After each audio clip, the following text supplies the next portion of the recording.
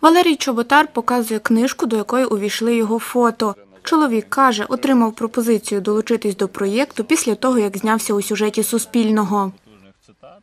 Коли в мене брали інтерв'ю і знімали сюжет для Суспільного, е, Наталка через цей сюжет дізналася, що я фотографую. Їй було в певній мірі цікаво попрацювати з кимось із фотографів-аматорів, не професіоналів, які роблять дуже гарні фотокартки. І вона зв'язалася через друзів, дізналася мій контакт, зв'язалася зі мною і запропонувала взяти участь у цьому проєкті. Фотографувати птахів, пригадує чоловік, почав, коли повернувся зі сходу. Каже, для нього це частина реабілітації після війни. ключових е, таких інструментів це насправді є відродження е, певної пристрасті, тому що одним із таких е, постійних факторів в більшості, це не можна сказати, що у всіх, так, але у ветеранів, ветеранок е, є втрата пристрасті і зацікавленості до того, чим вони займалися до війни.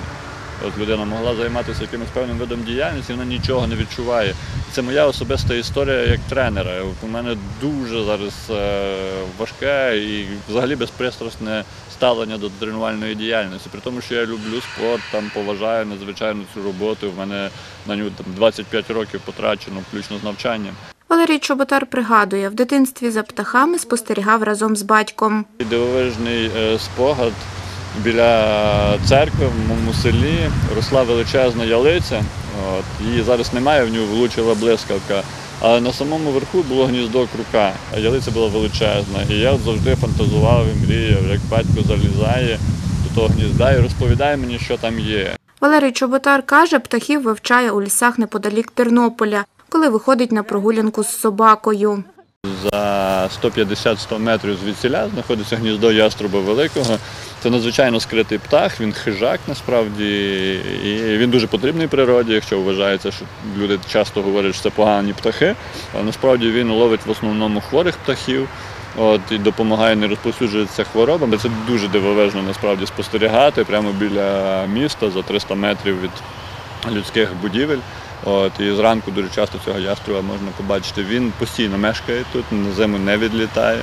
На запитання, скільки часу витрачає на хобі, Валерій Чоботар відповідає так. Я займаюся цим постійно. І це може бути через вікно мого балкону, це може бути проїжджаючи навіть в автомобілі, я аналізую, де яку птицю я бачу.